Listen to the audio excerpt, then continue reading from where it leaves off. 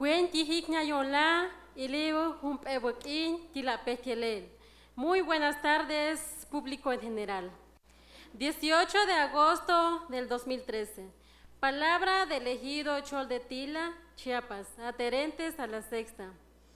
Compañeros y compañeras del Congreso Nacional Indígena, CNI, compañeros y compañeras delegados del EZLN, hermanos y hermanas de diferentes pueblos de México y el mundo. Compañeros y compañeras, reciban un cordial saludo de parte de nuestra organización adherentes a la sexta del ejido Tila. Antes que nada, queremos decirles que estamos muy agradecidos por darnos este espacio, ya que nos encontramos en este recinto compartiendo nuestra lucha en la defensa de la tierra y el territorio. Nosotros y nosotras somos una composición cultural originalmente del pueblo indígena Chol y descendientes de los mayas. El ejido Tila se encuentra ubicado en el norte del estado de Chiapas. Venimos luchando desde hace más de 50 años por los constantes intentos de despojo de nuestras tierras, que es la única fuente de sustento para nuestras familias. Los malos gobiernos municipal y estatal no respetan nuestra posesión y derecho legítimo a la tierra. Y lo único que quieren es privatizar 130 hectáreas, donde se encuentra el poblado ejidal de Tila, para lucrar como si fuera mercancía. Además, quieren privatizar el agua, las calles, el comercio, panteón ejidal, centros ceremoniales, que actualmente se viene trabajando de manera colectiva. Mediante la Asamblea Ejidal, como pueblo chol, seguimos siendo pisoteados, sufriendo el despojo, discriminación, la intimidación, el hostigamiento.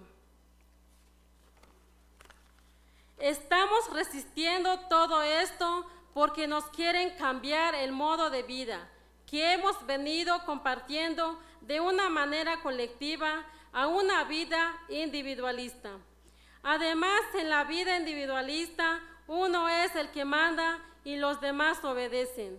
Así es la maña de los partidos y su política capitalista, que lo único que trae es más sufrimientos más desigualdad. Pero nosotros no queremos esto, porque en la vida colectiva es diferente, es el pueblo que manda cuando se sabe organizar. Desde tiempo inmemorial nuestros bisabuelos y bisabuelas, choles, de por sí han habitado el territorio donde hoy se localiza nuestro ejido. Convivían como hermanos el intercambio de productos, la colectividad entre hombres y mujeres.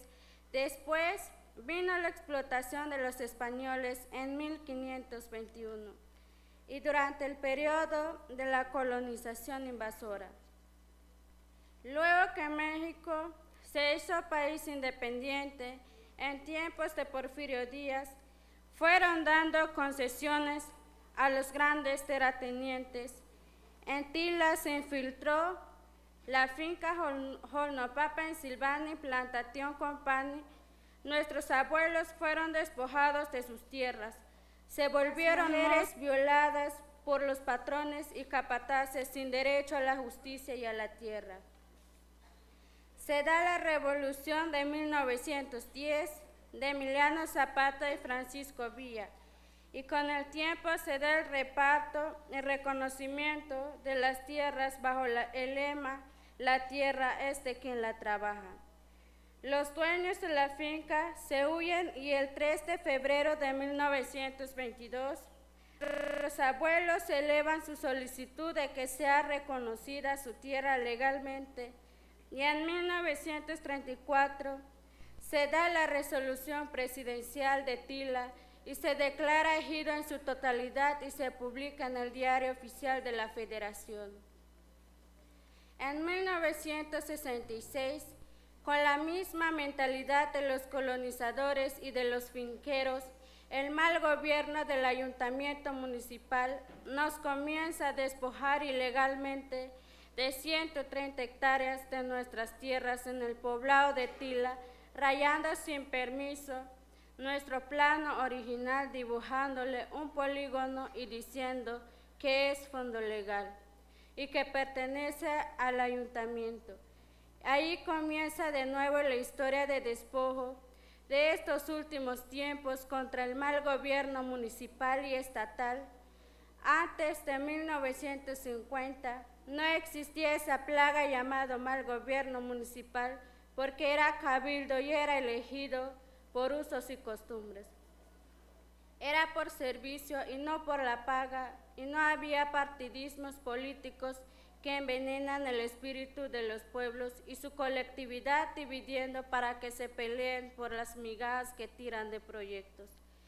Contra esa ilegalidad nos amparamos y como la vieron que iban a perder, en 1980 solicitaron al gobernador Juan Sabines, quien es padre del ratero represor que acaba de salir, que le hiciera un decreto donde hiciera valer su legalidad y despojar la superficie de 130 hectáreas para fondo legal y quedaran administrados por el ayuntamiento para que controle y reparta esa tierra. Así lo hicieron y nos volvimos a amparar y lo ganamos en 2008, donde declara la devolución de nuestras tierras. Pero el gobierno del Estado y el ayuntamiento han dado largas, no lo quieren devolver por eso ahora está en la Suprema Corte de Justicia de la Nación. Pero como ahí son amigos de los malos gobiernos, están buscando la maña para que no devuelvan la tierra, sino que quieren ofrecer dinero. Con esto probamos que no hay justicia, aunque muchos pueblos piensan que la justicia viene de arriba. Nuestra Asamblea General como choles ya lo dijimos claro que no aceptaremos dinero por nuestra tierra, porque la tierra es nuestra madre, no es una mercancía para venta, sino que es nuestra herencia, que así como la trabajamos, la defenderemos con nuestra vida.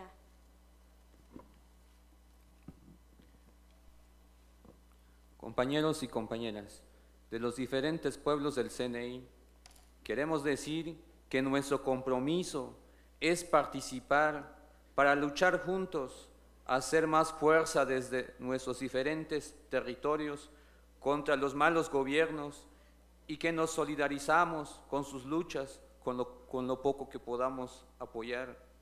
Compañeros y compañeras, delegadas del EZLN, les queremos decir que para nosotros siempre han sido un ejemplo de lucha a seguir el camino de nuestra historia por nuestra tierra y libertad.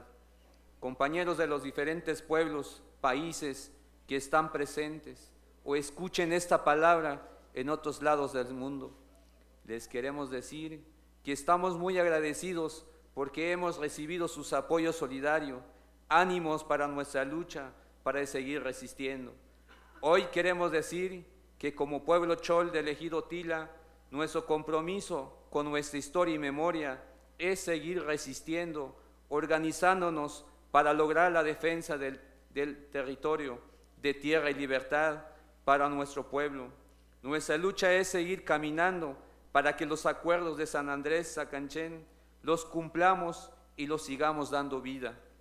Compañeros y compañeras, en la lucha y resistencia, adherentes a la secta, a la sexta Chol de elegido Tila, estamos con ustedes. Seguiremos apoyando, aprendiendo en los diferentes movimientos de autonomía y libre determinación.